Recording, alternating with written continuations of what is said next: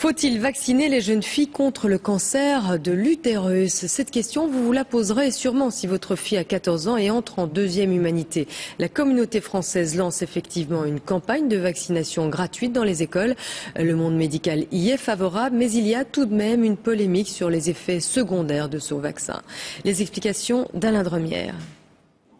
Voici les deux vaccins actuellement disponibles sur le marché. L'un d'entre eux sera proposé gratuitement dès la rentrée aux jeunes filles scolarisées en communauté française, des jeunes filles en classe de deuxième secondaire.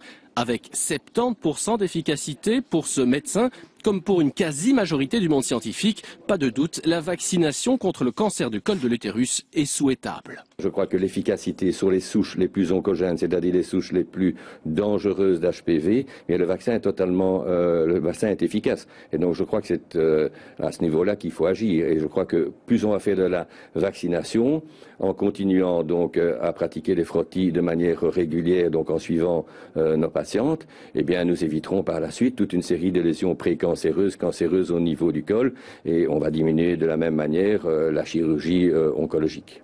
Certains citoyens, eux, sont largement moins enthousiastes à l'idée d'une campagne de vaccination. Pour eux, des effets secondaires ne seraient pas à exclure.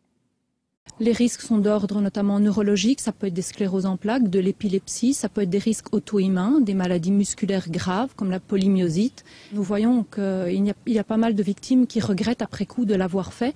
Et comme le disait euh, Madame Fonck, à l'époque ministre de la Santé en communauté française, euh, il ne faut pas que cette vaccination soit obligée dans les faits. Et il y a beaucoup de parents et de jeunes qui risquent de se sentir obligés dans le cadre de la vaccination scolaire.